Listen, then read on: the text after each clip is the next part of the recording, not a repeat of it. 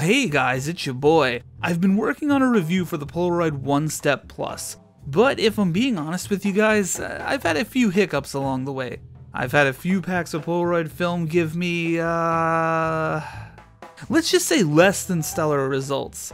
Now, it's no secret that instant film isn't the most reliable medium on the planet. The new Polaroid Originals film has its problems, but I've also been doing some digging, and I found a few things that you can do for better results, even if you're shooting out in the colder weather. I know, winter is almost over. I mean, the groundhog saw its shadow. Or, or it didn't, I don't remember what the good one is, but hey, none of our mayors dropped and killed the groundhog this year. That's a that's a good thing. That that's a real story. Google that. New York's a crazy place. Anywho, I have six tips for you for better results with your Polaroid film. These are things that might be obvious to some, but to newer users or people like me who don't read up on Polaroid's website regularly, what, a niche group we are, these tips could come in really clutch for you. And they can save you some wasted money on film. Polaroid defines the cold as below 55 degrees Fahrenheit or 13 degrees Celsius, Below that temperature range, Polaroid photos tend to come out overexposed. According to Polaroid, they can also lack contrast and have a greenish tint. This is a big problem I encountered this winter. At first, I thought I was using expired film. Turns out it was just too cold. But hey, check this out. If you pop those bad boys in your pocket, you know, close to the warmth of your body, they'll come out more reliably. They also encourage you to keep the whole camera right near your body to help it out a little bit too. It's uh, kind of like in Star Wars when they got in that Tauntaun. But yeah, keep the camera close to you. I mean, hey, they give you that great camera strap. Why wouldn't you want to wear it, right? On the flip side, Polaroid defines shooting in the heat as above 82 degrees Fahrenheit or 28 degrees Celsius. Above that temperature range, your photos will come out with a yellow reddish tint. You can avoid this by chilling your film in the fridge. More on that in a second. You can also let your photos develop in the air conditioning or an insulated bag, so Throw those suckers in your cooler. Polaroid does emphasize though, keep your photos away from moisture. If you've been on my channel for a bit, then you've likely noticed that I keep my unopened packs of Polaroid film in the fridge. The reason I do that is because, well, uh, if, if you read the box, ding ding ding, best stored refrigerated. On the Polaroid website, they also specify that you should lay the film on the side with the greatest surface area. That's a re really interesting phrasing there. I don't actually do that though because they they would just fall right out of the fridge every time I open the door. And before you comment, yes, that is a designated spot in my fridge for the film. And and no, I'm not really inclined to move them. I haven't had any problems storing them this way and uh plus I need room for the beer. If you do go the fridge route, which you should because they say you should, just let it come up to room temperature before shooting. They recommend an hour as the film doesn't perform well in the super cold temperatures. They also recommend using the full pack of film within two months of loading it. You know, just because uh, of temperature changes and moisture. Don't you just love that word? Everyone has a friend who cringes at the word moist. I like it. Once you shoot the photo, you can use the light shield to protect your precious little heliophobic baby from the light.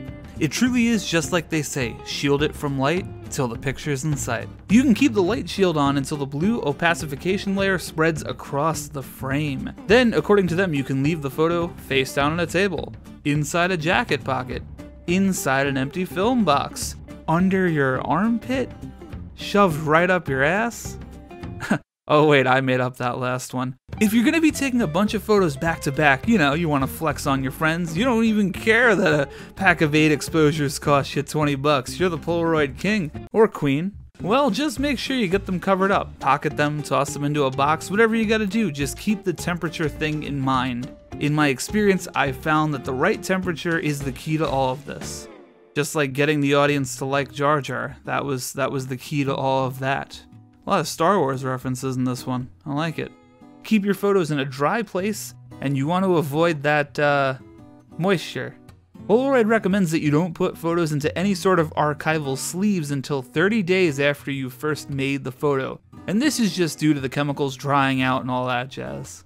Alright, let's talk dates. So this is a good one. I actually didn't realize this one for a while, but the dates printed on the packs of Polaroid film are actually production dates, not expiration dates.